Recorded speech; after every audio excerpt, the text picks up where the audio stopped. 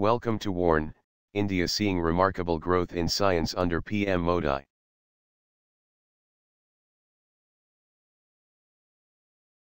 Union Minister Harsh Vardhan said India has witnessed a remarkable growth in scientific research, probably only behind China, under the leadership of Prime Minister Narendra Modi.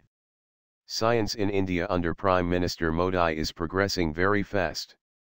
In terms of scientific research we are probably only behind China, in terms of nanotechnology we are now in the third spot in the world and in terms of scientific publication, we are in the 5, 6th spot, he said at a press conference here on the second day of Department of Science and Technology Conclave 2017. We have scientific research collaborations with countries like US, UK, Japan, South Korea, Israel and the progress has been fantastic, he said.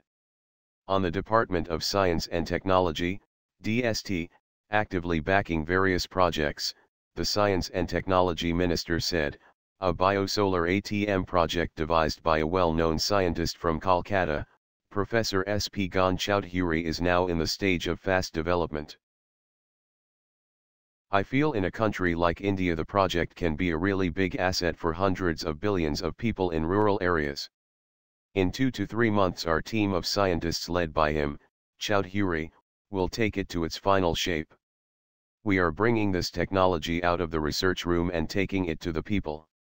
I think with our PM talking about digitization, this can be of real help to the people, he added.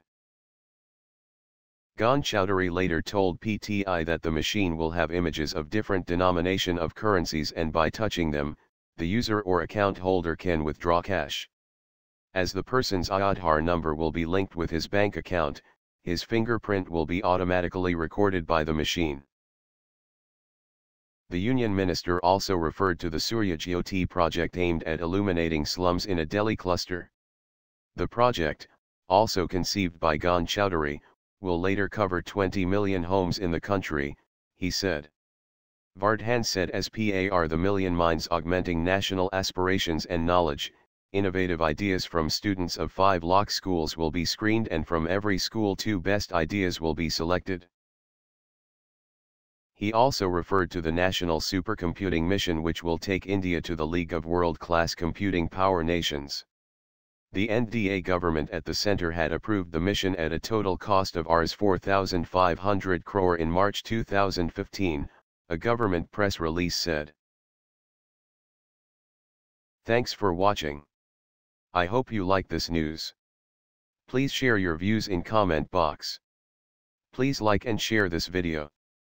Press subscribe button and bell for auto update to you regarding my channel World Action and Reaction News, Warn.